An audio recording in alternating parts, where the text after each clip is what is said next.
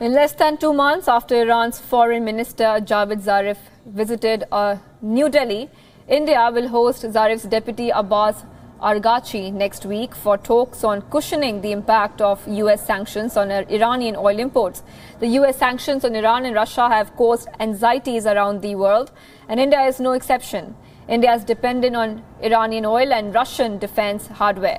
While India mulls its options, America's NATO ally Turkey says it will buy oil from Iran and defense equipment from Russia in defiance of US sanctions.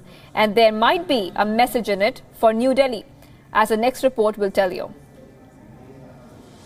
Recep Tayyip Erdogan, the all-powerful president of Turkey, posing for traditional family photographs at NATO's Brussels headquarters.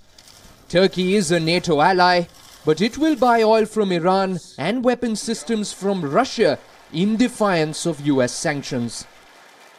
As during the past sanctions period, Turkey has never followed the unilateral sanctions of any country or any particular group of countries.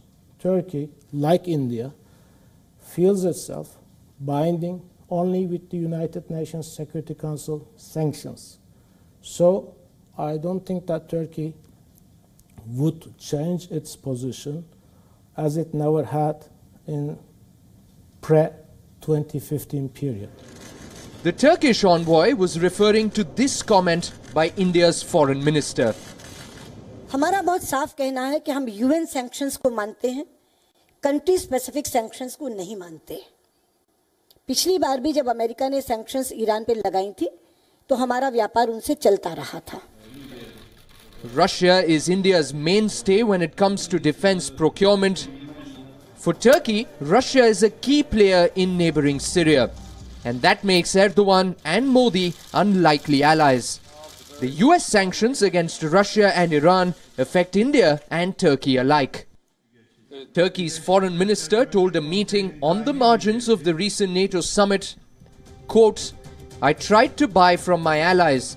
I wanted to buy from the US for the last 10 years. It didn't work.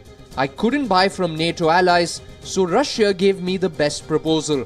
And now I'm buying from Russia. Unquote.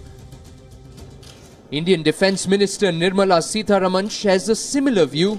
She told reporters on Friday, and I quote, it is almost at the conclusive stage. It will happen soon.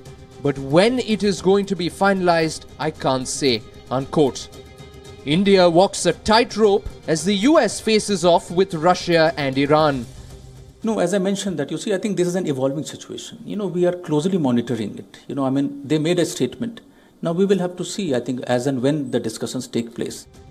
Negotiating the geopolitical minefield will require deft diplomacy on the part of New Delhi. Bureau Report, WION.